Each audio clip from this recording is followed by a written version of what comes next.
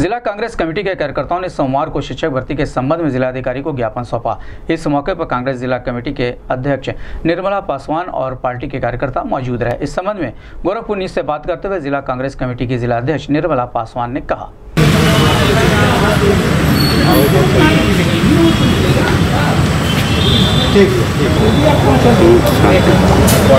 भजन शांति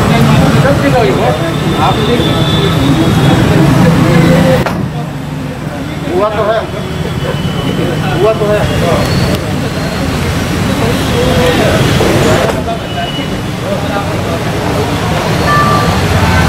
निर्मला पासवान जिला अध्यक्ष गोरखपुर।